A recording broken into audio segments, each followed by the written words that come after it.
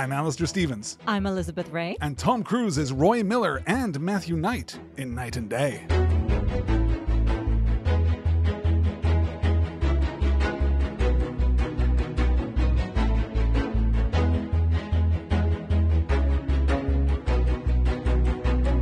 Which is otherwise a ridiculous title. It is a very like ridiculous you have title. to really want it, and you don't get to the last name Knight until like 45 minutes into the film. and you don't get to day Ever. at all. Like you kind of, yeah, you just have to, to build your own pyramid of explanation in order to justify this somewhat lackluster title. Night and someday. Night and someday, right? That is Right? That is that is the joke. That is what you're building toward. That's ugh. the only possible interpretation. would it have killed them to make Jude's surname Day? Like, would it really have hurt? So Would that weird. have ruined the waiting. intellectual coherence at the heart of this film? I was waiting for a reveal that she was not who she said she was, and she was, you know, spy of someone whose last name was Day. And no, Which we kind of get in as much as she can suddenly spy at the end of the movie. she all can't at once. suddenly spy. She's All at spy once she capable. learned. She went to she went to spy school, Secret Spy College. while. Yeah. just While he was unconscious in a Yeah. weird montage at the end of the film. Anyway, you guys, welcome to The Last Star in Hollywood. This week, Knight and Day Yeah. from 2008. I want to situate this in its proper historical context so that we can try and make sense of what is going on because perhaps the most surprising thing about Knight and Day is how much Tom Cruise wants to do this film, which is Ooh. bewildering because for all that this is a ramshackle film with frequent high points, right? That, that Yes, is the story of this so. film. This Yes. film is occasionally, and even frequently, brilliant. It is extremely stupid and funny and anarchic. It doesn't really add up to anything, but I can't imagine what he saw on the page and thought, yes, that's the project for me. This is happening while Valkyrie is in post production, right? This is the middle of 2008, and Cruise is already looking ahead to his next projects, assuming that that long awaited Oscar is now in the bag for his performance in Oh, Valkyrie. yeah. Lions for Lambs hasn't worked out. Tropic Thunder has just come out. He's experiencing a little bit of interest in whatever the next phase of his career will Mm-hmm. be. And he's involved in two projects. The first is Salt, a story about a Russian sleeper agent who goes on the run, so more spy shenanigans. And the Mm-hmm. other is The Tourist, in which he's supposed to play opposite Charlize Theron in a story of an American tourist who's caught up in this plot with this beautiful, mysterious stranger. That's the one that turns into Johnny Depp and Angelina. Jolie. That's the amazing thing is that Angelina Jolie appears in both of those projects after Cruise Oh, that's steps right. away. Salt is her too. because Salt is gender flipped. It's one of the most interesting development stories in the history of Hollywood. They just flip the gender of the protagonist, and yeah, it's it's Angelina Jolie and you're right, Angelina Jolie and Johnny Depp in the very bad but occasionally kind of sexy because of Jolie, not because of Depp. Agreed, The yes. Tourist, which has at least some really beautiful cinematography. I basically only remember how extremely good her costuming is Absolutely. in that movie. So- That's the only impression it left on me. That story, that film, that script is being developed actively with Cruise and Theron in mind. In fact, Cruise is so in on the tourist see that. that he dispatches Christopher McQuarrie, his new favorite writer in the world, to go and put a little polish on the script to make it everything that it can be. Then he comes across this script. He's actually sent this script for Knight and Day by Cameron Diaz. She is the one that's already attached. Cute. She sends him the script and he drops everything to commit to this project, which is wild. Yeah. I think that on paper, either Salt or The Tourist is a better fit for Cruise. Hmm. And this is just a weird kind of halfway house between his spy persona and his action persona and doesn't really resolve into either. It's also a weird swing at comedy. James Mangold, the director of this film, talks a lot about how, you know, no one gives Cruise the chance to be funny anymore. And sir, I've just been through his entire filmography, and I can tell you that no one ever really gave Cruise the chance to be funny. Like that, that is not a part of his movie star persona that we lean on very heavily. No. And this is the product. This is what falls out of this incredibly ramshackle production that I cannot wait to talk about. But first, Elizabeth, could you encapsulate this entire film in 20 to 30 seconds in an Absolutely improvised not. basis? it's the trailer game.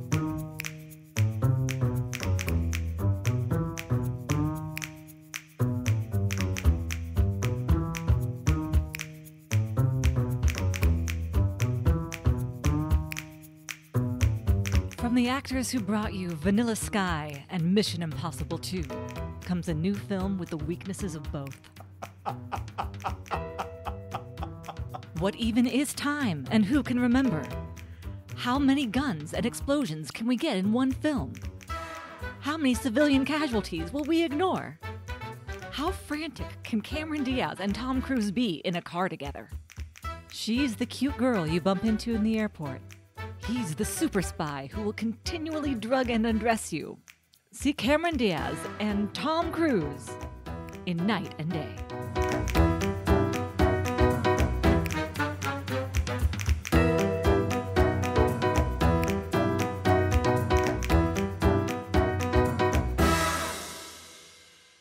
See, I think this is exactly the problem. What's that? You really like Knight and Day. You had a great time I- watching it.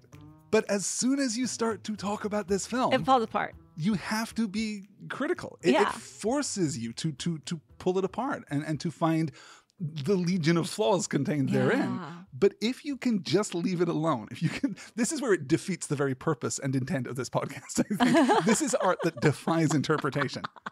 Because as soon as you even think about it critically for a second, it deflates. Yeah. It deflates like an abused souffle. And not thinking about it lets you preserve this memory of this very stupid but ultimately kind of fun Kind film. of fun though, right? Yeah. I even thought kind of sexy.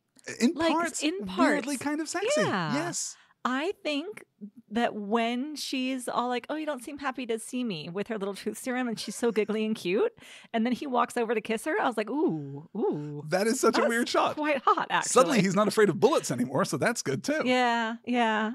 I- Bullets, a, a really variable threat in this film, anyway, depending on your circumstances So and true. how high up the call sheet you are. Let's talk about the development of this film because this is a wild one. This really is the story of, of a film that was touched by every single pair of hands in Hollywood, and almost none of them left a real mark. It's conceived around 2002 as an R rated thriller called All New Enemies, written by former actor and first time screenwriter Patrick O'Neill. He sells that mm. script in 2004 to Revolution Studios, who hesitate, they get a little bit of cold feet, they, they start to rework the script, they transform it into an Adam Sandler vehicle called Wichita. Revolution then folds in 2007, and the project is inherited by Sony Pictures. Sandler drops out, the script is reworked again into an action romance called Trouble Man, starring Chris Tucker and Eva Mendes, which oh my god. at least sounds like it could be fun for sure. Sony then gets cold feet and drops the movie completely. The project bounces to 20th Century Fox. The Chris Tucker rewrite is basically scraped off and thrown into mm-hmm. the trash, and the now untitled Wichita project, Fox gives to Scott Frank, who had previously adapted Minority Report and written Steven Soderbergh's Out of Sight based on the Elmore Leonard novel. That's a hot movie. That is a very hot movie. This version of the script is seen by Cameron Diaz, who likes it enough to persuade Fox to hand it off to Dana Fox, the writer, who had just worked on her movie with Ashton Kutcher, What Happens in Vegas. Dana Fox takes a swing at a more romantic version of the story, and that's the version that's handed by the studio to director James Mangold early in 2009. Diaz takes that script to Tom Cruise, who signs up in May of 2009, but the script isn't done yet. It goes to Laeta Kalogridis, who had written on Alexander for Oliver Stone. It then goes to Ted and Nicholas Griffin. Ted had previously written on Ocean's Eleven. Then Don Payne, a producer on The Simpsons and a writer of My Super Ex Girlfriend. Actor and writer Timothy Dowling takes a swing at it, who hadn't really written much of anything at the time, but would go on to write the absolutely dreadful Pixels for Adam Sandler in the years to come. Simon Kinberg, who wrote Mr. and Mrs. Smith, perhaps the most direct connection here. And then finally, the script gets bounced back to Scott Frank, whose job it is to take all of these different drafts and somehow fit them together into one film, which is why this film feels like a patchwork of the best ideas of 12 different writers. yeah. Who got the actual writing credit? Patrick? O'Neill. Patrick O'Neill. WGA rules say that Patrick O'Neill, because he basically did sketch the entirety of the plot Okay. and all of the subsequent drafts were tweaking in one direction or another, Yeah. he gets the sole writing credit. That is but so 12, wild. 12 known writers, Yeah. and who knows how many other rewrites came in. 12 known writers worked on the script before it hit the set, and then James Mangold threw out fully a third of it and rewrote it on the fly on the day of shooting. Uh oh.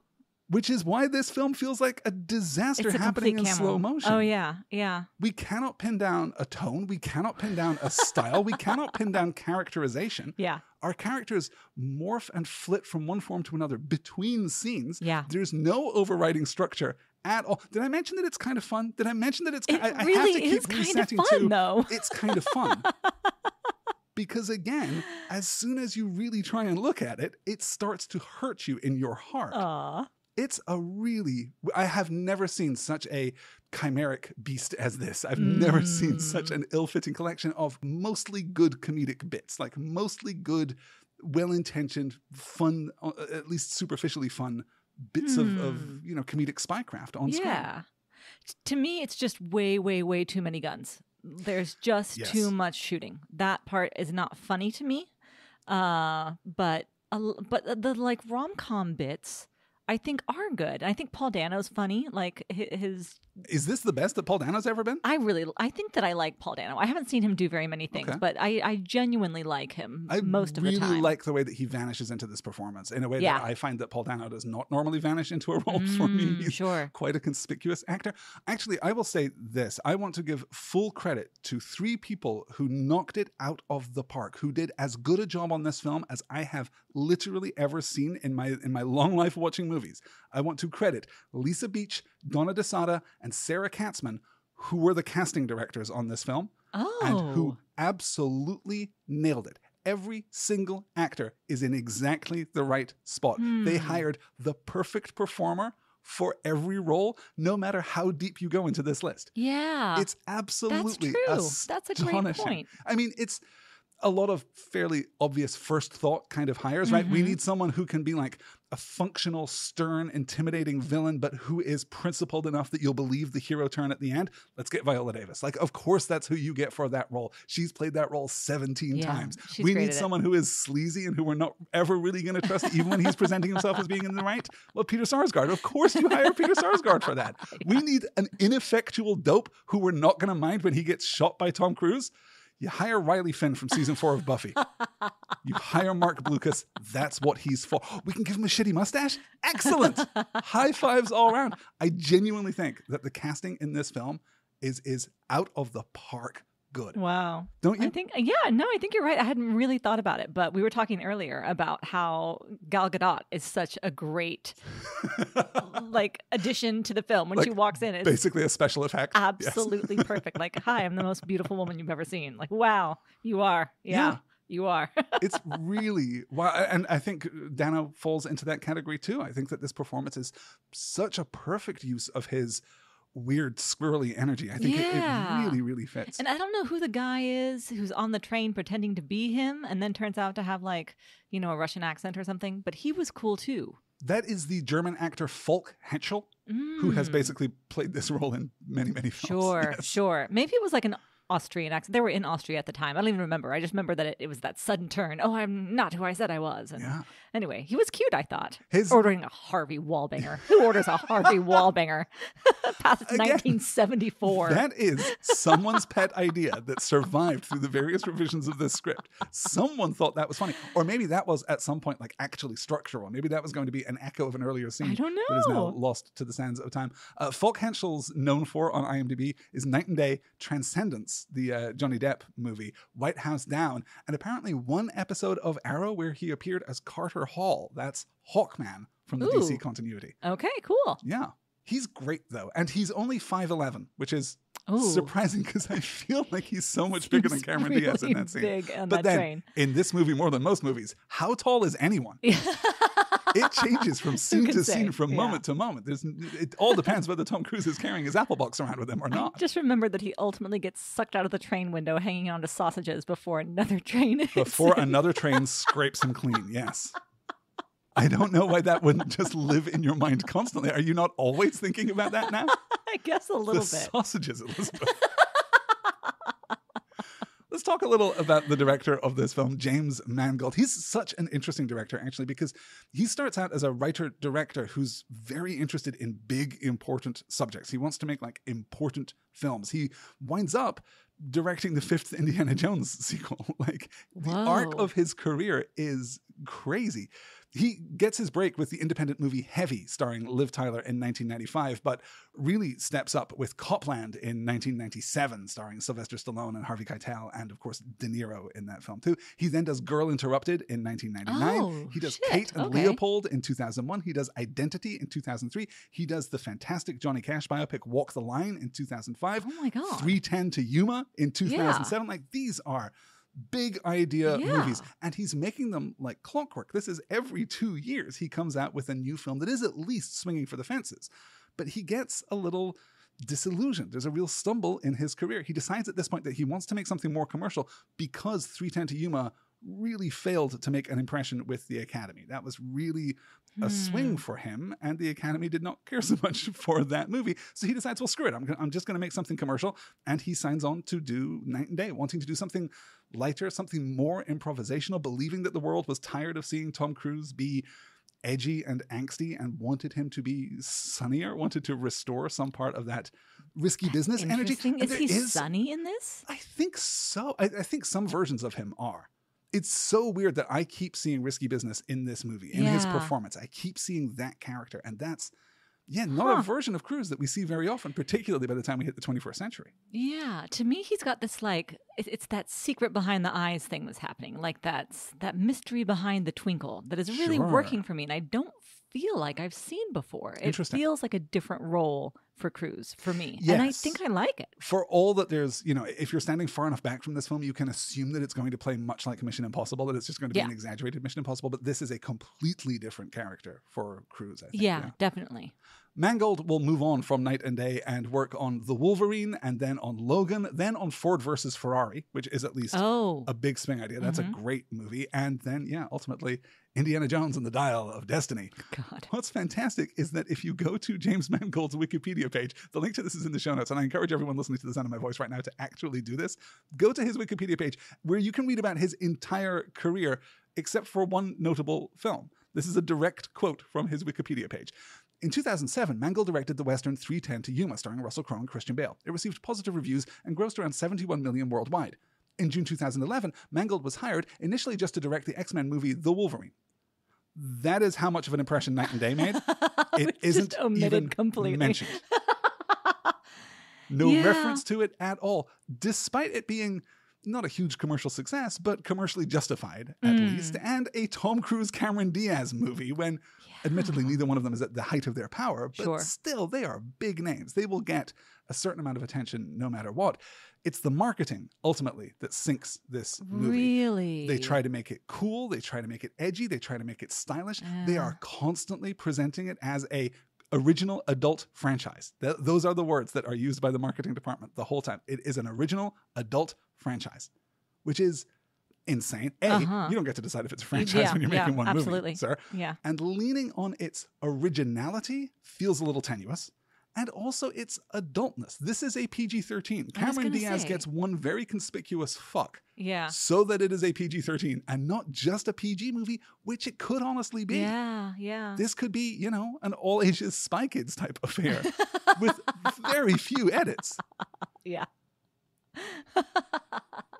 So let's talk a little about Cameron Diaz. We're catching up with her now. We talked about the first part of her life, obviously, back in Vanilla Sky. Since then, she appeared in Gangs of New York. She cameoed oh, in Yeah. Minority Report, if you remember her being almost visible on the train in Minority Report. She made three more Shrek films and generally enjoyed this, like, comfortable mid period part of her career. After Knight and Day, things will slip a little bit. She'll make The Green Hornet and Bad Teacher the following year, the latter of which is a huge success, the former of which is better forgotten. then in 2012, she makes What to Expect When You're Expecting, which is a very modest success. Sure. It's a small film anyway, but even by those terms, it's a very modest success. And she'll make Gambit, which is a disaster of such shocking magnitude that despite starring Cameron Diaz, Colin Firth, Alan Rickman, and Stanley Tucci, despite being written by the Coen brothers and directed by Michael Hoffman, who did, among other things, the 1999 Midsummer Night's Dream, despite all of those things in its favor, the film is so bad that it is never released in the United States. I was gonna say I've never heard of it. It What gets is punted this? straight to streaming. It is a disaster. Weird. it's this time period, of course, but it's Yeah. a disastrous remake of a very clever film from the 1960s. It's a heist movie, and the marketing copy is we don't mind you telling people how it ends, just don't tell them how it begins. Because the first act of the movie is the heist going off with mechanical perfection. And then we cut out and we realize that what we have just seen is the planning stage for this heist. Ah. And then we run through the whole heist again with everything That going wrong and no one being as capable as they were presented to be in the first act. Is the original Michael Caine? It is. Okay. Yeah, See, I did know yeah. that. Weird. It's a really Thanks, fun. Brain. It's a really fun film. I've never seen the remake because seeing the remake is really hard. but that cast: Colin Firth, Alan Rickman, Stanley Tucci in one movie. Yeah. Maybe we should track it down. Maybe that could be our bonus episode. Does that sound like uh, we're self-flagellating a little too little much bit. here? so this seems to be the turning point in Diaz's career. She makes The Counselor with Ridley Scott in 2013. 2014 finishes up with Sex Tape, which is pretty fine. I Oh, kind of yeah. like that movie. That was kind of cute. and Annie, which is weirdly kind of popular, but nothing like as popular as everyone just assumed that it was going to be. So it, even though it is successful, it still comes off feeling like a failure. Mm. And at that point, Cameron Diaz just retires. She has made her you money. She's very Respect. comfortable not Yeah. making any more movies, and she stays retired for a full decade. She's returned this year to appear in the forthcoming Back in Action alongside Jamie Foxx, Glenn Close, and Kyle Chandler. There's a name to conjure with. ooh. That comes out this coming November. And she's also back in the studio for the long awaited, often rumored, much dreaded fifth official Shrek movie. yeah. That's the career of Cameron Diaz. okay. I think she's kind of good in this film. I thought she was really cute. I think she's kind of charming. Her character really doesn't fundamentally make sense No. until she is dosed with the horny truth serum. At which point everything comes into focus. And I think that if you kind of backport the idea that she's just she's been on a low grade dose of this horny truth serum for the whole movie, the entire thing makes more sense. Hmm. Pretty cute, though. Pretty cute. yeah. Yeah. I thought she was darling. Let's talk about Viola Davis, the brilliant Oh, Viola fantastic. Davis, born in South Carolina in 1965, nothing less than a national treasure. She Mhm. grows up in abject poverty, the daughter of a noted civil rights activist, and she discovers acting in high school, and that changes the course of her entire life. She attends Rhode Island College. She attends Juilliard as part of Group 22. She's really the only person from Group 22 who makes it. She's really the only Cool. person who Wow. really breaks. She graduates in 1993 and makes an immediate impact on Broadway, then moves to TV and film in 1996. In 1997, she appears in the aforementioned Out of Sight, which, Mhm. again, strong recommendation. Very, very good film. In 2000, she's in Traffic. In 2001, she has that brilliant uncredited role as the parole board interrogator at the beginning of Ocean's 11, where she is oh yeah. unbelievably fantastic. Yeah. Definitely. Just scorches the screen. I think she's just Yeah. What a just presence. fantastic, yeah. And from there on, she's just you know going through the motions, securing her reputation as an absolute legend. Probably most notably, or at least with the highest profile, in How to Get Away with Murder, which Mhm. runs six seasons from 2014 to 2020. I haven't seen a lot of that show because nothing in that show is half as good as Viola Davis Yeah, is. she's really, really it's terrific, and everything else is a little bit of a mess around her. it's Maybe true. Liza Weil is half as good as Viola Davis. Oh, sure. But that's yeah, you really it. like her. Yeah. Yeah, fair enough. What's your I think I watched the whole first season of that, and then just couldn't be compelled to keep going because Yeah. it's just it's really messy. Yeah, Yeah. It, it is ramshackle. Yeah, a Mhm. word that I have already used, I think, three times in the course well, of this, you know, I wonder this why. podcast episode. I think that's fair. I think that Viola Davis is, yeah, generally fantastic, and I think she's very good in this film because this is exactly what you hire her to do. Right? This is not Yeah. at all distinct from the role that she will end up playing in the extended DC universe, where she's cast as Amanda Waller, who is just kind of, well, it's exactly this part, except she works with superhumans Sure. over in the DC verse. Yeah. yeah, yeah, that tracks. Peter Sarsgaard, similarly excellent casting here. Born in Illinois in 1971, his father's an Air Force engineer, and he moves 12 times as a kid. I can relate. He attended a private Jesuit prep school in Connecticut. I can't so much relate to that, obviously. and then he attends Bard for two years before transferring to Washington University in St. Louis, where he earns a bachelor's degree in history. His first movie role is Dead Man Walking with uh, Sean Penn and Sarandon in Wow. Oh, 1995. He establishes himself as a really safe pair of hands in any ensemble through the Sure. 1990s and then kind of steps up to leading man position in 2003's biopic Shattered Glass. He's in Garden State with Zach Braff. I don't know if Oh you yeah, remember him I don't remember that. him in that. He appears alongside Liam Neeson in Kinsey. The year after Knight and Day, he plays Sinestro, the villain in the Green Lantern movie, which is not so great. And then just, yeah, continues to work and continues to be Peter Sarsgaard. He is Sure. married to Maggie Gyllenhaal, and we have seen right. their very pleasant Brooklyn townhouse on the Architectural Digest we YouTube have. channel. Because That's try as you might, you can't podcast 24 hours a day. Sometimes you have to stop and go watch what is it? Open Door with AD. Open Door with AD is, I think, Yeah. it indeed. Yeah. Here's our recommendation of the week. Go watch the Architectural Digest YouTube channel. Do you have a favorite that you can recommend? Vanessa Hudgens. Vanessa. Absolutely. A hundred Vanessa percent. Hudgens. Yes. That is the greatest house, It's- and she's nothing but charming. Oh my God. Yeah. Yes. She's a couple other things besides charming, I would say. But Yes, yes, yes. You do have a, a well testified a crush. on Yes. Vanessa Hudgens, as you should, quite frankly. Speaking of women on whom you have a crush, let's talk about Gal Gadot. Uh-huh. Born in 1985 in Israel, she graduated high school with an interest in biology. She enters the Miss Israel pageant when she is 18 and wins. Cool. She then goes on to compete that same year in the Miss Universe pageant in Ecuador, where she doesn't win, but still acquits herself very nicely.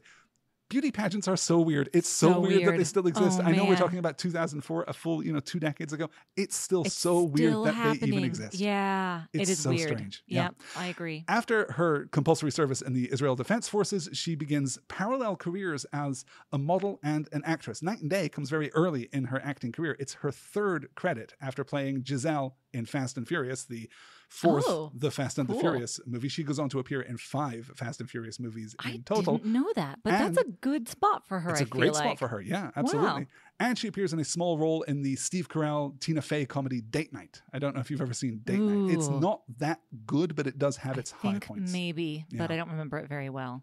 As I say, Gadot will go on to appear in five Fast and Furious movies, but she really breaks in 2016, of course, when she is the most obvious bit of casting in the world for Wonder Woman, where she fantastic. just fits Yeah. that role like a glove. She stuns from the first moment that Yep. she appears on screen in Batman vs. Superman Dawn of Justice, a very terrible film that is actually somewhat redeemed by Gal Gadot showing up, by that musical sting behind her. Ah, it's- never saw that one. maybe one of the best debuts that that there's ever been. And, you know, I, I just think it's a tremendous piece of work. She also gained, of course, some real criticism for her, Uh, let's say, Oh, yeah. ill-conceived and wildly condescending release of a, a star-studded cover version of John Lennon's "Imagine" in the early days of the pandemic quarantine. That was that like her idea? I thought she was just one of the people. No, it was she. She oh. absolutely Oh. led the charge. She recruited everybody for that thing. She put the thing together. Oh, And it's I very well intentioned, Well intentioned. very well intentioned, extremely tone deaf. Yeah. Yeah. Yeah. Ooh, yeah. I will link to that in the show notes. If you haven't seen it, we're probably far enough away from it that you can watch it now and maybe Maybe. even enjoy it now. Maybe. Maybe. But yes, Yeah. absolutely the wrong thing at absolutely the wrong time. Yeah. Finally, let's round this out with a brief discussion of Paul Dano, who I think, yeah, is is really quite good in this film. He's born in 1984 in New York City. He grows up in the city and in Connecticut. He attends Eugene Lang College. He appears on stage at the Royal Theatre in 1996, starts making films in 2000, but doesn't really break until his star turn, a well deserved star turn, I think, in Little Miss Sunshine in 2006. He's in There Will Be Blood in 2007. After Knight and Day, he'll be in Looper in 2012 and Swiss Army Man with Daniel Radcliffe in 2016. He will play two of cinema's greatest villains in 2022. He will play the Riddler in The Batman, and he'll play Steven Spielberg's dad in The Fabelmans. Two of cinema's greatest monsters. Wow. I'm exaggerating a little you're- bit, Wow, but only a little that's bit. serious, man. The Fabelmans is a wild one. Yeah, yeah. I like his performance in it. Although he does seem to. I don't think that movie's good. That's what it comes down to. I think there I really wanted to love it. I really wanted to be just extremely good. moved. Yeah. But I think But it turns out that maybe your personal therapeutic exercise is not going to result in great art, even if you're Steven Spielberg. Yep. You know who I loved? Seth Rogen. Seth Rogen. also David Lynch. So, oh my God, the David Lynch turn as John Ford at the end of that movie is one of the best things that I've ever seen on a screen. It is so good. Yep. Well worth the price of admission for, yeah, what, 30 seconds right at the end of that film? It's interesting. Yeah. Ah, so, good. so good. This movie shoots in three months between September and December of 2009. They shoot extensively in Massachusetts, they shoot a little in Illinois and in California, and they shoot a lot in both Austria and in Andalusia.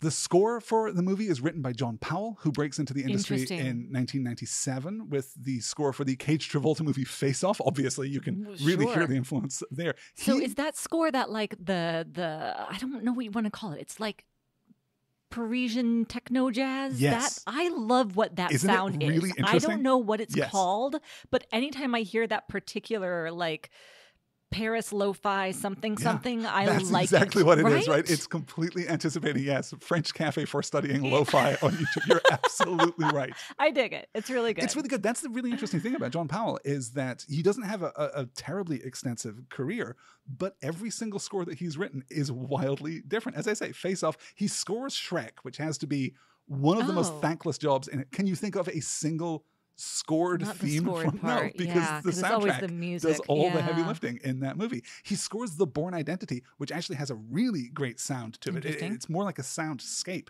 than it is like a traditional film score, but it's it's excellent. He scores the terrible Mark Wahlberg remake of The Italian Job in Mm-hmm. 2003, which again at least sounds really interesting. And of course, he scores Mr. and Mrs. Smith, which sounds Oh. great. okay. That movie has a really great score to it. So Sure. he's done a lot of, of, of really good work and a lot of very distinct work. I think the score for this film rocks. I think it's I really totally good. agree, with the exception of the ending credit song. Yes, That that's it. last song was so bad. I think the Someday needle that what it was called? Stink. Yeah. Every time a song is played, it's very bad. And maybe that Oh, just it's like Louie Louie, wasn't it? Louie 18 Louie? times? So many. Yeah.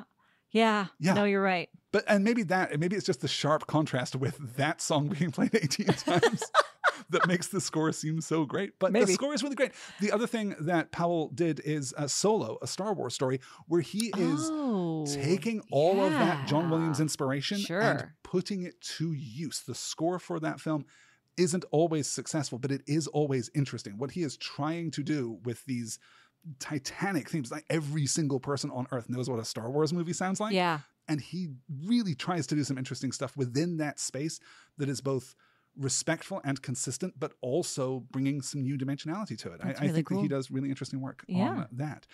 So Knight and Day is released on June 23rd, 2010, is ironically one of two new releases that week because the other is Grown Ups starring Adam Sandler, directed by Dennis Dugan. Number one at the box office is the second week of Toy Story 3, which has already made $227 million in a little less than 14 days. Grown Ups goes in at number two and makes almost double what Knight and Day makes at number three at the box office. I don't remember Grown Ups at all. It's one of those Adam Sandler wants to make a movie with his buddies. And Oh, yeah, they'll no, I just go like on those. vacation Yeah. and make a film. It's Adam Sandler and it's Kevin James and it's David Spade, who is really unpleasant in those films. Oh, sure. It's Chris Rock, Salma Hayek, I think, is in that one. Ah, So Okay. but really, yes, I, I just read you that cast list, and now you know exactly what Yeah, that film is. You heard. can Gotcha. anticipate every possible move that it will make. The remake of The Karate Kid is number four at the box Oh, office. The remake of The A Team is number five, a movie that nobody remembers.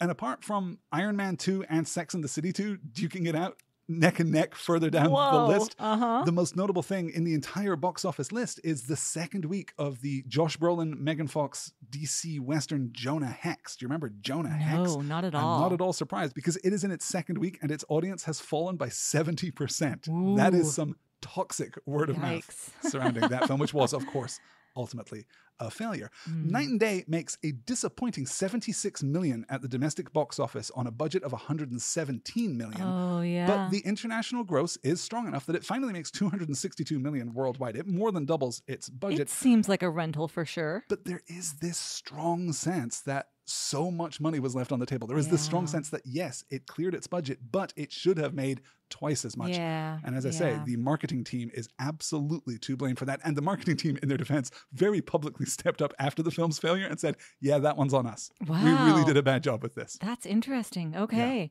Yeah. I was going to watch the trailer, but it always feels like a little bit of a, cursed object to go and watch the trailer before you do the trailer game. Absolutely. So now I'm going to have to go back and see You it. Just have to go and look at the posters. The posters do not at all communicate what this film is. The I posters know that the like whatever the image they give for renting the movie or whatever doesn't communicate it at all. Is it, the looks weird white more- silhouettes on the orange swirl background? Is that no, what this seeing? is the two of them, The on, two the of them on the motorcycle, and they each have the guns pointing So the opposite direction, so it looks very like Bondy. That is a post hoc addition. As bad as that is, that was added in after the film's release for its its DVD releases. Yeah. The original looks like some kind of yeah, 60s throwback, like it's it's leaning into like an Austin Powers kind of direction in a way that you don't want for this. Yeah, it's it's a real just Just calamitous miss. misfire. Absolutely. Wow, they were so they were running two parallel trailer streams. One set of trailers making it look like an out and out comedy, and one set of trailers making it look like an out and out action film. And of course, this film is going to satisfy neither of those audiences. Neither. That's what's so interesting. and people yeah. are seeing both versions of the trailer, so they're just left without a sense of what the film is ultimately about. What, Well, what me too, and I just watched the whole thing. And that's the thing is that that's actually the most reflective thing that the marketing campaign could have done. They very accurately represent the wild swings that this movie takes. Yeah. And it we- just you're so right. It never does land on the tone. Like it just never No. figures out what the tone of the movie Absolutely is. not. Yeah. I think the opening is pretty strong. I and you do. I don't think that it was. Go ahead. Interesting. Yeah. Well, let's get into it and we'll, we'll talk about it as Sure, we sure. go. Why not? We open, of course, in Wichita, the fabled. It's so weird that you keep on talking about Wichita and the project used to be named Wichita, but they just fly out of it Yeah. and it's never seen again, right? That that is exactly the extent of Okay. the presence of Wichita in this film. But this is why Patrick O'Neill gets the sole writing credit, is because there's enough of that original DNA left in the script that the WGA can shrug their shoulders and say, "Well, it's obviously all him," yeah. which is demonstrably insane. You couldn't possibly look at this film and think that it was written by one man. no. and if it were, that man ought to be hospitalized. yeah. In the fabled, legendary Wichita, home of the glamorous and, and perfect, Roy Miller Hmm. is enjoying the many varied amenities that you'll find in the Wichita International A Airport. really shitty looking the ice cream mid-continental airport. I guess, is how they're referring to it. That's how the voiceover Sure. refers to it, which is interesting. June Havens, meanwhile, is trying to make her flight. The two literally collide on both sides of the gate. It's Mhm. probably just a coincidence, right? and then June is bumped from the flight. I That part doesn't like make any sense. this opening. Yeah. Why doesn't it make sense? Okay. Why is she bumped from the flight and then put back on the flight? because Explain. because the flight is a setup to kill Roy Miller. Okay. Everybody so on the flight not- is in on it. It's not a real flight. That's why she is bumped in the first place. Then Viola oh. Davis Oh. sees her, thinks that she is someone important, thinks that she is somehow involved, and so pulls the strings to put her on the flight. She is so that she will also be killed in this what? killed or captured or whatever is supposed to happen. Taken yeah, I mean, I don't know what the what whatever. the gambit here is Yeah, with Roy yeah. Miller. Okay. Like, yes, how does this end? It's a really Wild. great question right. that we can ask at almost every turn of this script. what did you think was going to happen? Is a very consistent Yeah. question through this film. Okay. But Interesting. I like the energy that we're playing with here. And I kind of like Cruise's wild intensity in this film is so interesting because it feels so much like the real Tom Cruise, right? He's just too goddamn intense all the time. And he's extremely good at everything that he tries to do, Sure. which is off putting, Yeah. frankly. Coupled with that intensity, right? We're not really seeing a competence that we can lean into or, or even appreciate. It just feels inhuman. yeah. And I It- kind it of is a little bit like inhuman, yeah. that. I don't love how completely ineffectual June is right from the jump. Like cannot do anything on her own. Is really mm. just stumbling through this yeah, movie. and then having that character beat that she restores old cars, which ends up not being anything and not meaning meaning anything. Like besides that, they get to drive the It- genuinely ugly GTO at the end of the film. It does mean something, but what it means is maybe not what was intended. Okay, because she restores cars, she's working on her dad's old GTO. This is very important to her. Her dad is gone now. She's really like trying to, in some sense, live up to his influence, right? That's what repairing the GTO is really all about. That's why she's flying halfway across the country to get parts for this car so that she can fly back and finally restore it for her her sister's wedding. She's really missing her dad, right? There- there's it's some real daddy issues thing. well, gee, I don't know. But later, when Tom Cruise tells her that she's got skills, he calls her by her name and says that she's got skills, and she glows like she finally got the affirmation that she always wanted from her dad. Oh, There is nice definitely a dimension to this film that is Daddy Issues, the movie, yeah. which even takes care of the age gap. It makes sense with Riley too. What's his real name? Right? Sorry, now I'm just calling him Riley. No, that's all right. we can we can just call Uh, him Marc Blucas. What is his name? It's another R name. I no, feel like. Raymond. Raymond. because of Raymond and course, Roy of course, you're yeah, gonna have okay. Raymond and Roy. Sure, yes. naturally. Anyway, yeah, that explains Raymond a little bit more. I think this might be just Nice a series of type. jokes that editors played on each other as this was bouncing around the studio. Again, perfect casting for Marc Blucas. But we will get to him because first we're going to do this sequence on the plane. Which is really kind of cute. And I, I think, it's kind of cute. It drags a little bit, but it's it kind of cute. It does a little bit. They do have chemistry. It does I take agree. forever for her to get up and go to the bathroom. We, we yeah, don't and then all the stuff with her talking to herself in the mirror. Is all like, that oh exposition right up front. Yeah. Yeah, half the amount of her talking to herself in the mirror, I think, would Mhm. be cute, particularly because it's a character beat that we do not return to in Right. the rest of the film. Right. This is not a part of who She June is. just talk to herself all. a lot. Yeah. And I genuinely love her psyching herself up, coming out of the bathroom and going and kissing that fool. I think so too. That's Yep, great. it's good. Frankly, more people should do that. I think it's really strong. And I really like too the way that we are playing the comedic beats of, you know, the door to the cockpit just flapping back and forth. That's pretty good. Yep, that's funny. There's, there's a fair amount to like here. And I even enjoy the way that we handle weapons here at the beginning because I now understand that these are silenced weapons that are being Yes. used here on the plane, which is a justification for June and no one else, right? Like Yeah. we don't need them to be silenced. There's no reason for them to be silenced except that we are preserving June's innocence comedically at this Mhm. point. But I thought for a moment that they were like tranquilizer darts. yes, I so thought did that that was how we were, you know, yeah. making this At whole least thing somebody unfold. got hit with at some kind least of some of them are, right? but not all of them are. And I liked Wild. the idea that we were leaning into a more, yeah, it's just a more gentle, less Had they all been hyper-masculine kind of- yes of tranquilizer darts yeah. and or I don't know what. I didn't like all of the you know like automatic weapons and yeah, stuff. It's just too much. just too much. And, and yeah, we're sometimes playing guns as though they are extremely deadly, Yeah. as they are, and we're sometimes playing them as though they are comedic props. right. The sequence much later in the warehouse Mm-hmm. where Cameron Diaz panics and just fires that gun. That is not okay. like Not that is okay, not a funny not joke funny on its own terms. Yep. and certainly doesn't fit with the rest of the film as we understand it. So yes, we have June and Roy talking. We get this grip of backstory about June's family that's not really going to be important for Yeah, the rest sure. of it. We have the break in the bathroom. We have the kiss. And then he tells her that the pilots are dead and that the plane is crashing, which thanks to him, I guess, it does. Yeah. Yeah. So he kind of sort of lands it a little. Uh, kind of. Kind Yeah, of. Yeah. In some of the worst CGI I've ever seen. That's the Maybe this thing. is the reason why he's then going to be like, you know what? Practical effects, y'all. I'm just going to crash the actual plane. Just Yes. film me. That's exactly right. I think this is, yeah, this film looks bad in a way that only really expensive films from 2010 Right. can look bad. And which I is hate it. you clearly threw a ton of money at it at every single effects shot, and they all look like garbage. Yep.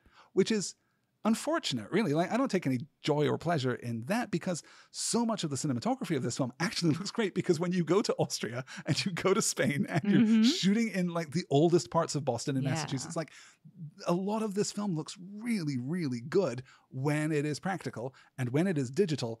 Holy smokes, it looks terrible. And this isn't Yeah. even, I the think, flipping cars too. There was oh like, my oh, god, that that car chase scene, gun chase scene, whatever, is among the worst things I've Absolutely right. Absolutely right.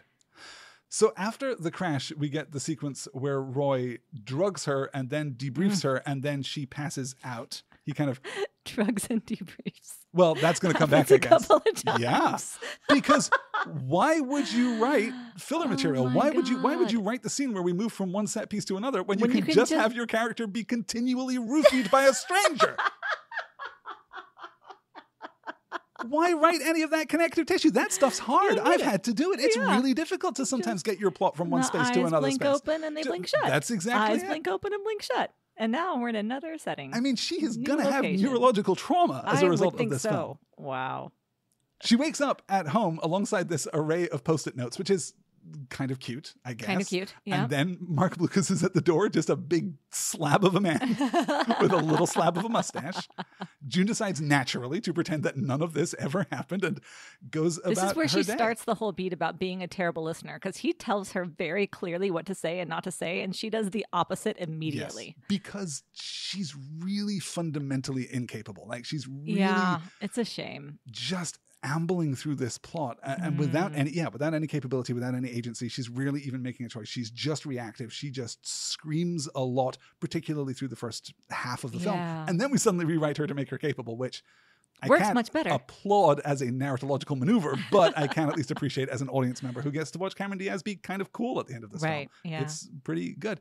She has the dress fitting with her sister Shannon from Lost, yes. who is as Mhm. terrible in this film as she was in Lost. Yeah, I do see again the casting. Like they- casting's they, they can be sisters. I see it. I do. Also, I don't like you or care about you at all, Yeah. which just really keeps my focus on June as we move forward. That's true, that's At no point in this film are we expected to give a damn about April's wedding. It's true. I do like that her name is April. It's April and June. cute. It's Yeah, cute. It's cute. Yeah. She's then picked up by Peter Sarsgaard, who is definitely a good guy, no question. There's a firefight. Says get in the car. She gets in the car immediately, Of even though. Roy told her Yep. under no circumstances get into a vehicle with these people. We do the implausible motorcycle stunt. Oh my God, the the motorcycle. motorcycle going up the ramp and then appearing at the top of the ramp, flying through the air without a rider anymore. yeah. Suddenly, Roy's on top of the car. There's a chase, an extended chase. There's some action. There's like a, a lot of compositing through this Yeah. sequence, and it all this looks is a very real bad. bad one. And then Roy's in the driver's seat rescuing her. This, I think, is the worst looking sequence in the film. I think so. Too. I really no, think this one was this really is- tough. Yeah, is is real bad, and I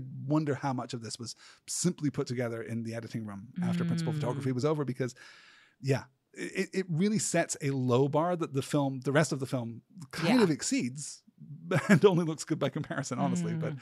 yeah, not so. I great. will say that as far as like driving nightmares go, being in the back seat trying to get to the front to uh, hit the brakes is definitely like that's that's my nightmare dream that I have for sure. I am in the back of the car. The car is out of control. I'm having trouble getting to the front of the car. That's how it goes. a real Cameron Diaz dream for sure. I wish. Roy compliments June's dress. He compliments her timing. She glows a little bit. And then he goes in to kill the guys in the tunnel while June runs and catches a bus. And Roy Oh, follows yeah. her, even when she goes in to visit with Marc Blucas. And yeah, you know things are bad when you're turning to Marc Blucas for help. When you're turning to this potato of a man for help, your life is probably not going great.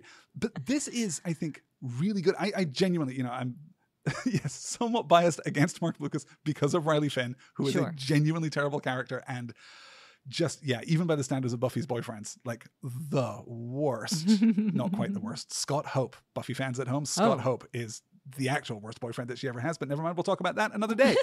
but I think that he's terrific because yeah, he's exactly who you would cast in this role and he works beautifully and the way that he kind of rises to the occasion when Roy comes in and starts asking him about being a firefighter and like empathizing with him and very much being Very Tom Cruise in real life. If you've ever seen Tom Cruise like on a red carpet, Yes. that is exactly the energy that he brings. This laser focused and too intense attention. That is just Tom Cruise. wow. And it's kind of good. I kind of like the sequence in the restaurant. How do you feel about it? I think it's good, and I think that Rodney is quite funny with j- just the way he's giving just doe eyes at June while she's talking, but super not listening to her at all. And she comes out and is like, "No, have you? Are we even listening to me?" And then here he comes. I'm the guy. All of it was pretty Yeah, cute. This is I the think. guy. Yeah. This is the guy. That's that. It's good. it's good. I, I, think it was Diaz is yeah delivering. Mhm. and certainly delivers when Roy claps handcuffs on her and takes her out, Yeah. shoots Rodney in the leg, apologizes for doing so, but you know it's it's a through and through. I didn't go near the bone. I didn't go near any major Yeah. arteries. You're going to be fine.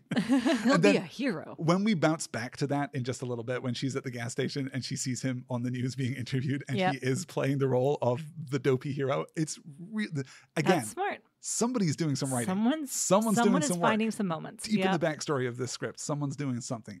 And I love too the sequence that we get on the top of the parking garage where he's explaining to her what it is that he's done. I am making you safe by proving to everyone that you are not a part of this. I just kidnapped you in public. Oh yeah. And that That's means that you're going to be okay. We just have to get through this next bit and Yeah. then you are going to be okay.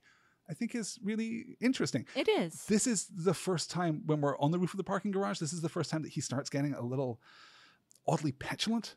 There's something like I don't know. There's something I know what you're talking about boyish about. about, his yeah, hurt feelings Sure. at this point. Like like she's not completely trusting him, and he's kind of sour about it. And it's difficult to pin down. It will echo through the rest of the film, I think, but Mhm. it's a it's an odd moment. We then get the introduction of the Zephyr, this miracle perpetual motion battery, which spoilers will turn out not to work, but which will very conveniently wrap up this film without our protagonists having to actually do anything in order to accomplish Yeah. their goals. Uh-huh. So, uh, foreshadowing? is the Zephyr a MacGuffin? yes. I think so too. Okay, Yes. good. It All right. does not matter.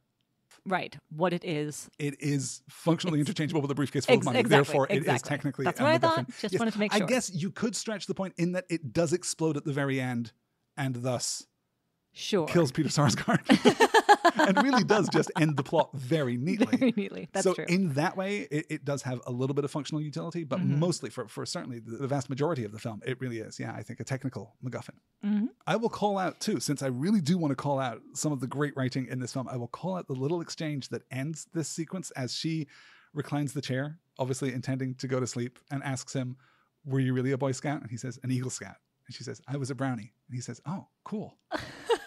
it's just cool was a really. it's just it was really cute. good Yeah. and and really nice naturalistic delivery from that both was of them, I nice thought. too.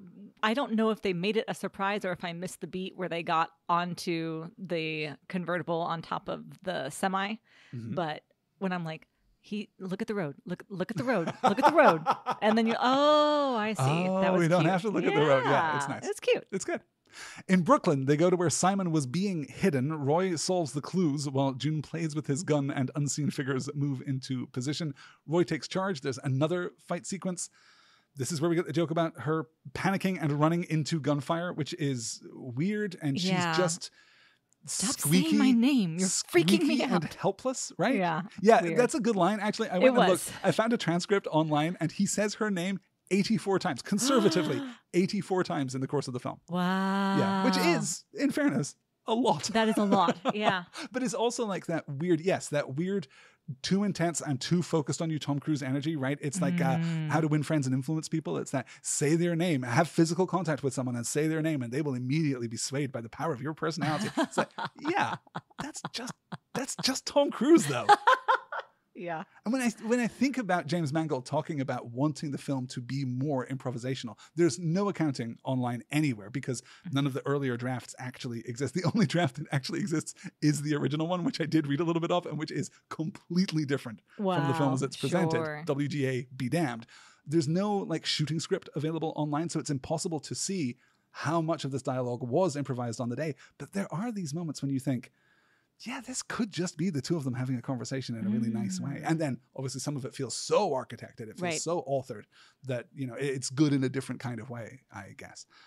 So we very effectively damsel June through this whole sequence, but then we come out into this interesting impressionistic montage of her passing out and coming to in Yes. the plane and coming to in the car and just having this like sense experience of what being in a Tom Cruise movie would be like. Uh-huh. I kind of like that as a device. I really hate when we come back to it at the end of the film. Yeah. I think that sucks. and the fact that in the last five minutes of the movie, we have to repeat every single thing that we established Yeah. earlier.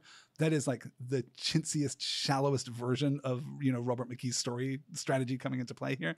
We don't need to do all of that. But here I think it's actually very effective. And then she wakes up looking like a million bucks in a bikini and a hammock. right. A hot damn. Yes. It's yes. wonderful. I it, is, but I did have a note that was like, "Oh my god, how did she get into this Yes. bikini?" And then I was really grateful when she said, "Oh my god, how did I get into this bikini?" I don't find I, I, I don't know how I feel about that joke. I mean, she does try to punch him in the face. That's that's that's what it worked. She tries to punch him in the face. Yeah. He dodges it and then says, "Wait, wait, wait. No, I deserve that. Go ahead, hit me again." I'll That's such like, a great beat. you know, Sorry, that was instinct. Try- Yeah. hit me again. I'll let you hit me this time. that is actually really good. I think so too. It's terrible that he undressed her and put her in the bikini. th- that's really And the- the terrible. bikini really, is really terrible. So revealing. It, it like it's such a even by the standards of a bikini, you guys, Yeah. it's a small bikini, right? and and also, where did he get it? Yeah. Also- well, he went shopping with her, obviously. you didn't see that moment when she had the, the eyelids flutter the open, montage. impressionistic montage as they go into Victoria's Secret, right? yeah, right. That's the thing. Every time you poke it, it makes it It's worse. Every time you try and figure Oh, out this film, it just it sinks into its own morass right as you watch it. Yeah. But it is, yeah, cute. And yes, you're right. Her pushing back against him does at least give the scene some some dynamism and Yes. some energy. She leaves. She takes his phone with her for some reason so that we can foreshadow the rest of the movement of the plot, I guess.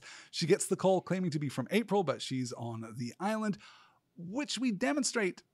This is an example of the tone of the film being so really inconsistent and misaligned. Yeah, but wait, wait, wait. Does she take his phone? I thought that sh- that, that was her phone and actually April calling her, No, but they were tracking has- both phones. She has both phones because she has the glimpse of the address of his parents' house. oh, yeah. That's where she gets that information, which she then memorizes as you would, so Ah. that she can track down his parents later in the movie. And that's right. On the plane, he got like the motion alert from his parents' house. Yes. But why? I His dad was just in the garage.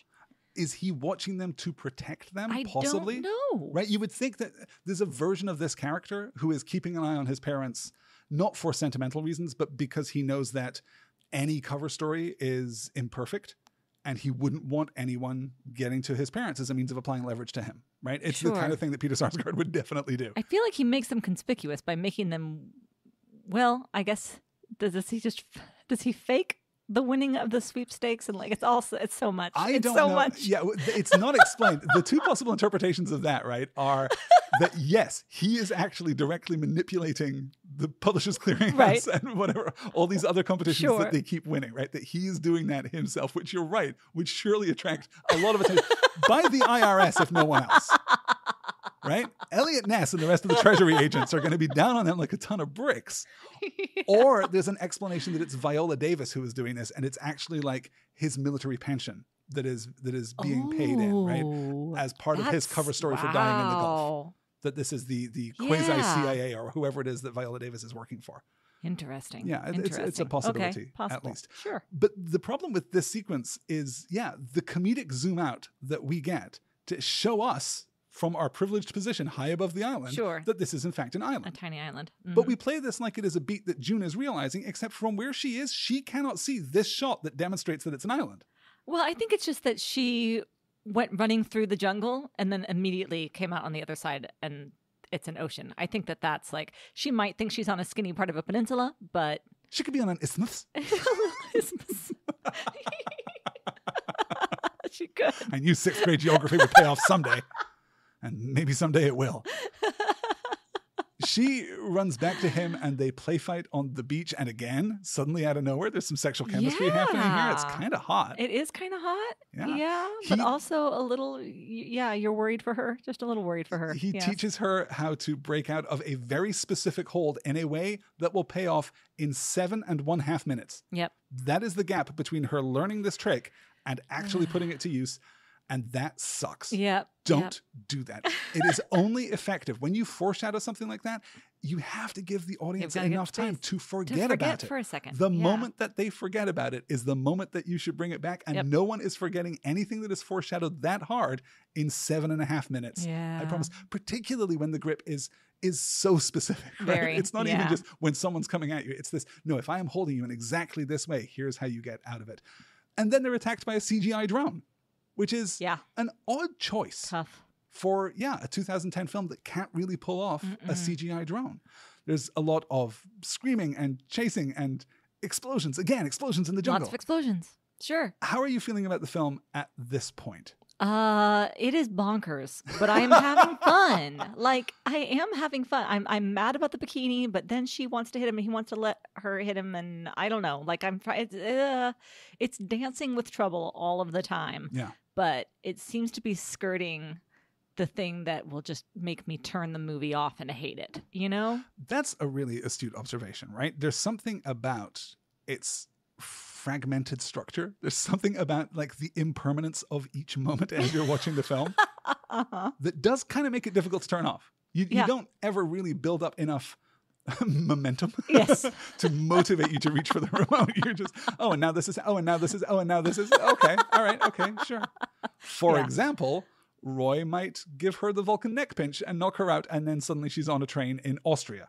Very sexy train. An extremely sexy train. That wow. Are there are there really trains like that? Yes. Wow. Cruise looks so hot in this sequence. Yeah. His little mock turtleneck blazer combo yeah, yeah, that he's rocking, so hot. Yeah. I do. I we're gonna waste our time so. here Yeah. having a fight in a we kitchen also car. that's the other thing I didn't talk about on the beach. Great physique on Tom Cruise in this movie. I mean, he's, Wow. he's renowned for it. Wow. And it's nice that they are both because there's a version of this that's that's Glen Powell and Sydney Sweeney doing exactly this story, right? And it wouldn't work because these two people really are adults. They are adult enough that they have baggage and, Yeah, and emotional absolutely. weight to them. And that plays both as, as a balance to them and also as a motivation to them in a way that I think is really, Hmm. yeah, is really interesting. I do think that there's something good and, and well motivated at the Yeah. heart of this story. I think that there, there is something that's well intentioned at the heart of Knight That's right. And you had said they marketed it as grown Yeah, up or something, which right? it is, yeah, right? And, and so it is. And yeah. I think that's yeah, that that's That's a good point. very fair. Yeah. Well, I say that June Havens is a grown up, but when she's ordering breakfast on the train, she orders pancakes, scrambled eggs, and a large glass of milk, like she is six years old. That's a bad breakfast, you guys. That was you want something a with a bit of. sequence. Yeah. You're on a glamorous train in Austria. yeah. Like maybe something that's a little, you know just, would have a little cute? more elevated. She should have ordered the omelet that he made her and left in her house. Excellent. She should have been craving it every day since. Excellent. Thanks. That's good. See, you're a natural screenwriter. you could be the 13th screenwriter on this film. Lucky 13. So this is where we introduce Bernhard, the assassin, who's here to just, yeah, prompt a fight scene in Sure. the kitchen car. It's fine. It's a pretty decent sequence. It's well choreographed. At least, I mean, we have to kind of buy Roy going out like a punk in the first instance, like for the first time, for the only time in the film, in fact, he gets properly beaten up. yeah. And it's just to give June the space to be effective. But of course, she's only effective in the way that he just taught her to be effective. yeah. So really, he's the so awesome really, one. yeah. You know, we're not actually giving her too much. power. We will ultimately. Again, we're going to rewrite Yeah. her character about two thirds of the way through, and suddenly she's going to be awesome. But right now, she's actually just learning A these sweet, sweet lessons. dum dum. Yeah. yeah, it's it's pretty good. And hmm. a shout out to the very kind Austrian chef. Who, when she breaks into the, Oh, the kitchen car in yes. the first place, like, yes, of course, sit down. Can I get you some water? It's just like really lovely to her. Actually, darling. Yeah. And, th- and then killed outright by yeah. the nefarious Bernhardt. Shame. But he gets what's his. He gets what's coming to him, which is to say, he gets blown through a window, clinging onto sausages, and then scraped off by a passing train in the other direction. Yep. This film, you guys. That's right. And yeah, because uh, Simon, Simon is Paul Dano, right? Yes, yes. Saying, why won't he just die? and then the train. Again, It's great funny. casting. It's yes, good. yeah.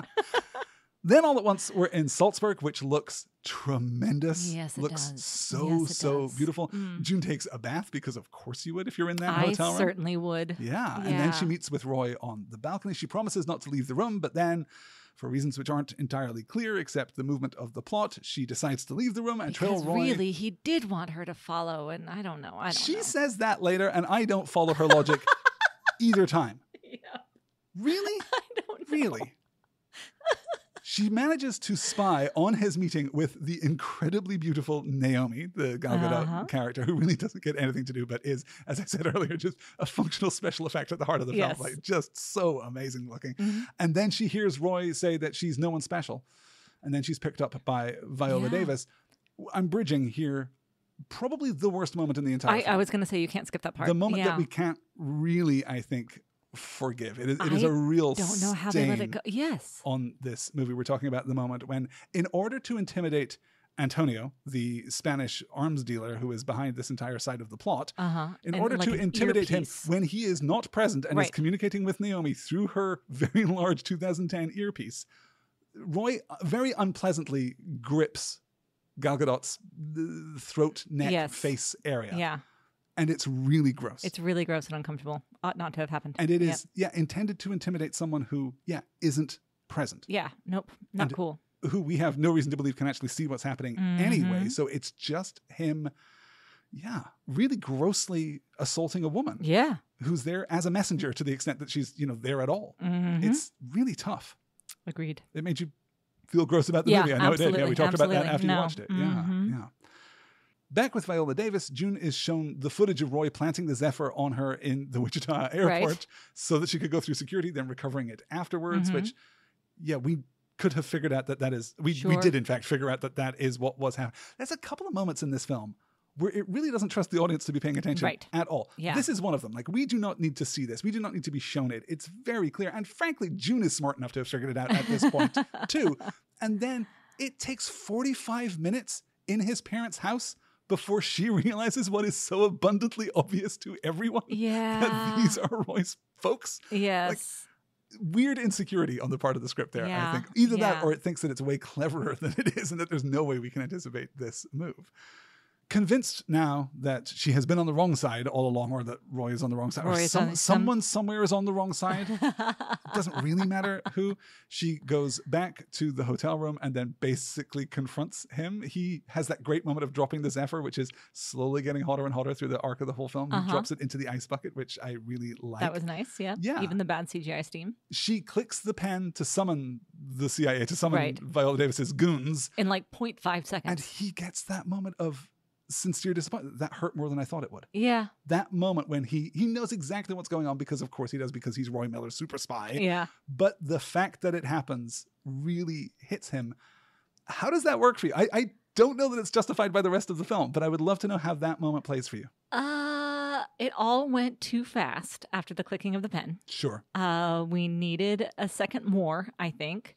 And then he disappears so effectively that it's too much like a magic trick. It's a real It's Batman too- vanish, It, it it? really is. Yeah. it's just too much. So, but I agree. It's nice. That Which- hurt more than I thought it would. He also does after leaving the train when uh, Peter Sarsgaard finds the the little circle that's been drawn on the window, and when he squints down to look through it, he sees Roy, who then, yeah, Batman vanishes into the crowd. Yeah. It's a weird moment. We then get this extended chase sequence across the rooftops of Salzburg, which looks just Looks great. And Tom Cruise running. Yes. It's it's unfortunate that because he's running on the rooftops, he's using this like stutter step. It's not Sure. like the full It's Tom the full Cruise run. robo run, Yeah, right? that's it's not like you are now an unstoppable force. you, you are primal and atomic. You Yeah. are run, right? We don't quite get that, but it's still very impressive. And then the sequence when he is finally apprehended and shot and drops into the water, hmm I think is beautifully shot. Yeah. That's good. Really, really good looking sequence. And uh, that's the end of the movie. Because we then cut through what would normally be at the end of the movie. We cut through June being debriefed and returning home. We get the flight. We get the wedding. The whole wedding unfolds despite. When you point toward an event like this, you imply that that event is going to be significant in the film. At least Yeah. it might even be the climax. It But also no, it just like happens. any amount of time could have passed. Like it could have been a week and a half. And yet it must have been what, three days for the whole movie? The beginning of the movie? Yeah, Yeah. It, mu- it must be about three days. Yes. Wild. Yeah. Isn't that strange? It seems just so bizarre to me. Yeah. Yes. So we move through the wedding. We go to her repair shop where we get to see the Sure. GTO. We get to have this brief conversation with the guy that she hires to work on cars in the dead of night. I guess I don't know. Not entirely sure what's happening here. And then, yeah, she uh, she takes off. She remembers what she saw on Roy's phone. She drives out to investigate, which does give Diaz a chance to do some really cool driving here.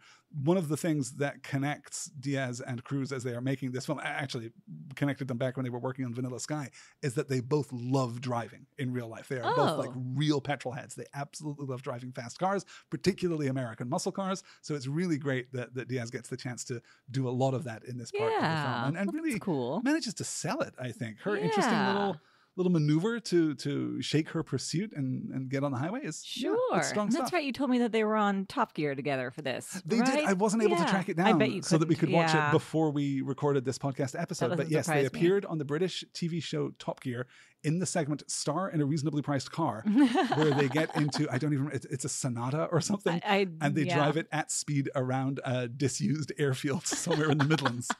Uh, which is maybe like the most British statement I've Yeah. ever made, but yes, it's it's a pretty charming Cute. segment on a show that has some real bad politics, uh, Ah. but you know Mm. can be fun at least. Uh, yeah, but very capable, and it's nice to see June taking control of the story at least, even though this is kind of ill-conceived and right. just kind of heavy-handed. yeah. Because yeah. when she arrives at his parents' house, of course, she gets sprayed by the sprinkler because she literally cannot do anything right. Yeah. She lies to get inside of the house. They take her in Mhm. to dry her off and tell her all about their weird good fortune, and then, of course, about their son who died in the Gulf War, and an entire shelf dedicated, a, a little shrine to Little Cruise, shrine to right Cruise. there, Yeah. with little Eagle a Scout weird Cruise. DH CGI something.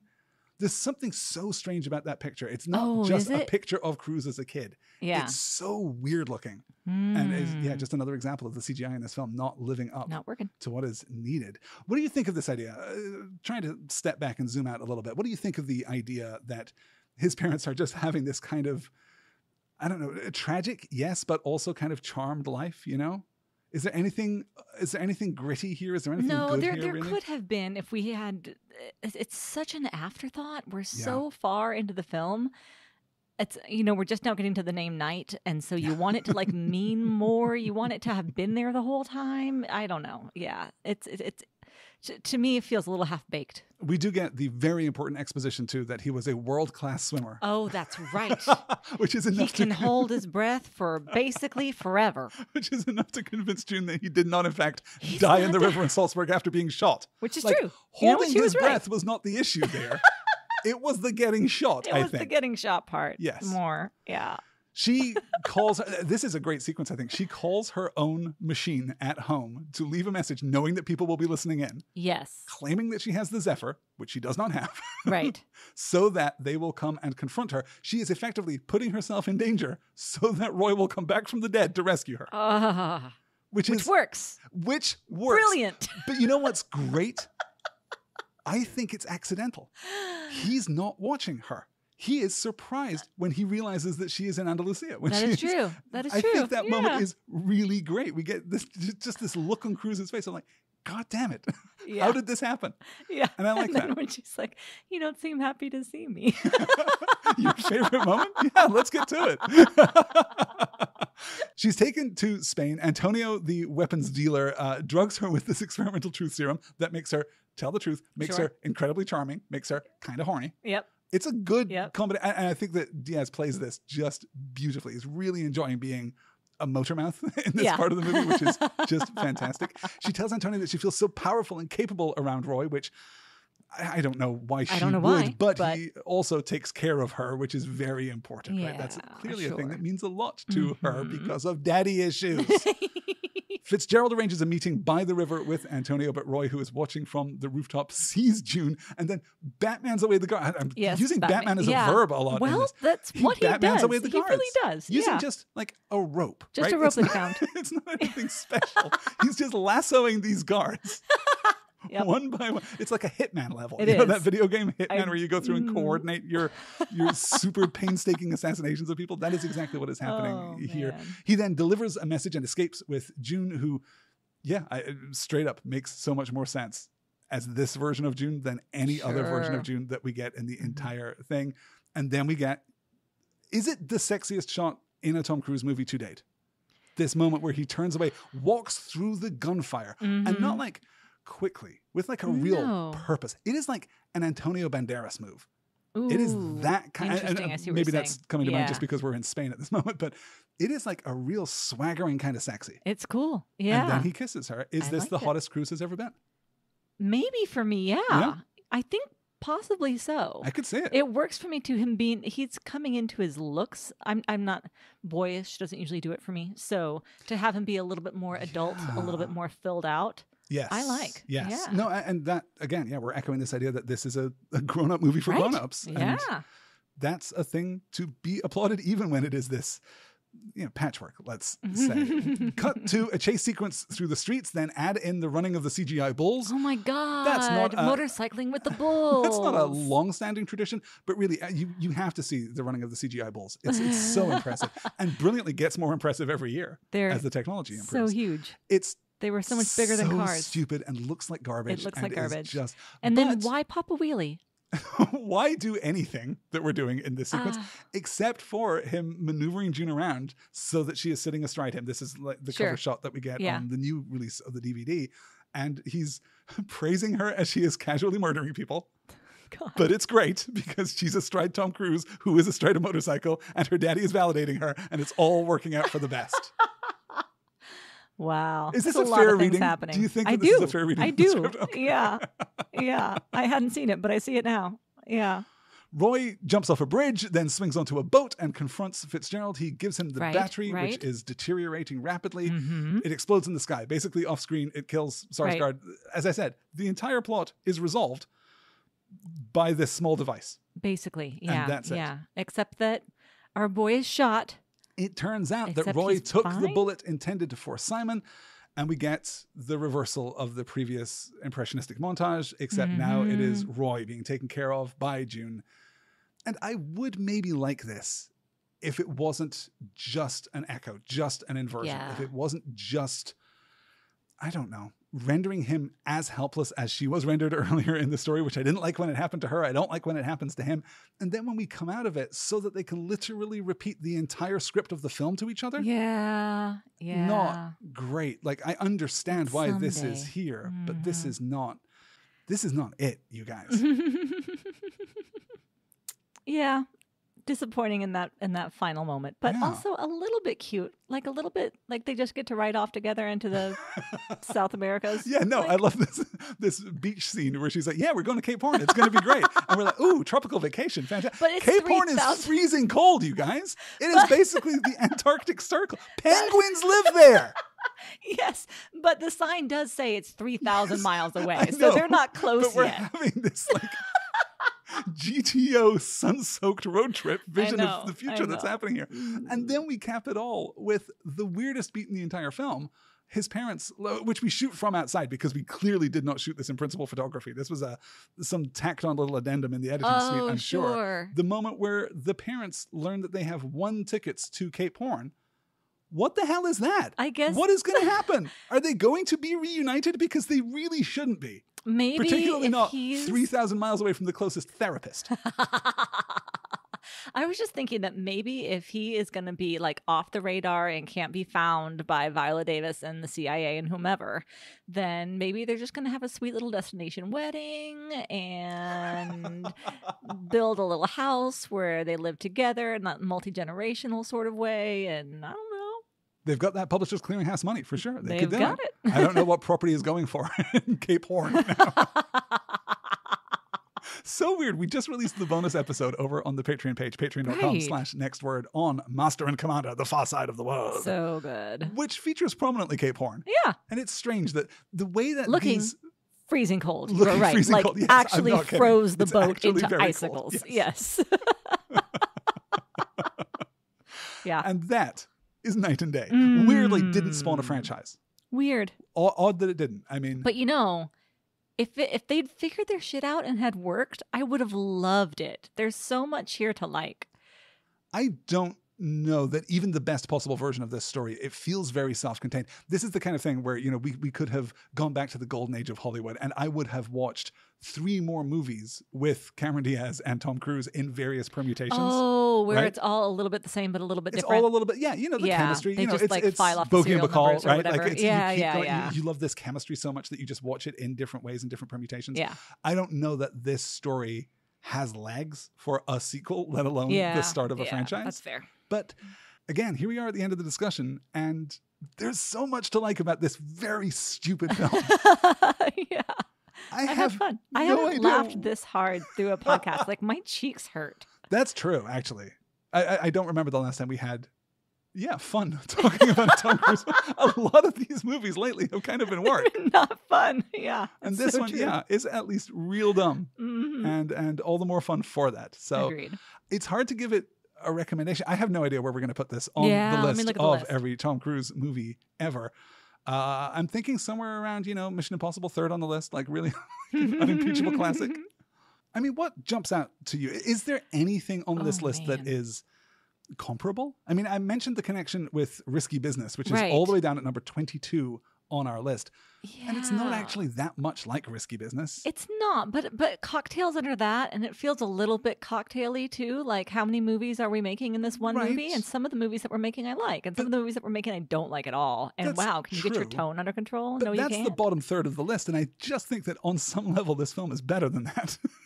Interesting. Sure. I think you're right. I think there's a difference between, I don't know, a specific technical judgment here Mhm. and and a gut feeling, right? Sure. Uh, Let's just go on vibes. Just on vibes, where do you put this? How likely are you to watch this before you watch Vanilla Sky again, or before you watch Collateral again, or before you watch Valkyrie again? oh man, uh, that would put it somewhere around like Far and Away and Eyes Wide Shut, which are 17 and 18.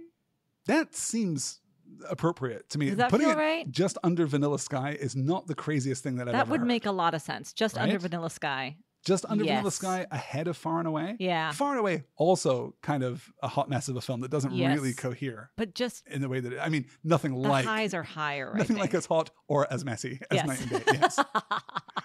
so yeah, I could see it going in there. And the new number 17 on the list, basically the midpoint of the list. Yeah, that makes a lot of sense. Does that sound good? Yeah, sure. All right. That's where it's going. Number 17 on the list, right under Vanilla Sky, because where else would it go, honestly? it has been such a pleasure talking about Cameron Diaz in the scope of this this series. Agreed. It's too yeah. bad we're not going to get, well, uh, not going to get another movie with her and Cruise yet. Maybe we will Who in knows? 2028 get that long awaited Knight and Day 2 Daybreak. Do we have any thoughts on the name? I said that we would circle back around to this right at the end of the discussion. Is there any kind of have we shaken loose any possible interpretive moves that we can Oh. make that that that make the name work? Meaning, yeah. I mean, no, it's just bad. the Knight for most of the film is the stupid little Burger King kids toy that Right. he takes so that he can put the Zephyr inside because those toys are also hollow, I guess, and easy to open. That seems like a choking hazard for young children. I and is it actually a Burger King toy, I or is she no just idea. making the joke that it's a shitty little toy? I, I, don't know. I have don't no know. idea. It's something that he picked up from the Wichita airport. So it could be anything, such as the wonder and mystery and magic of the Wichita airport. Yeah, Mhm. that's the Knight for most of it. And the day, you're right, someday is the kind of obvious, most applicable reference that the Yeah. film uses, but weak, really bad, Yes. honestly. And if you're going to rewrite it this much, maybe do one more pass and give it a better name. Can you, right now, spontaneously, while I go into the blurb about the Patreon, think of a better name for this movie? Everything that we do here at Next Word is possible thanks to you guys. Elizabeth is staring at me, her eyes as wide as they have ever been we are so grateful for your support. Podcasting takes a lot of time. Sometimes we have to watch a movie. Sometimes we have to watch two. Sometimes we have to talk about it here for an hour and a half, which is probably more time than anyone has spent discussing Knight and Day since it was in the very earliest stages of its production.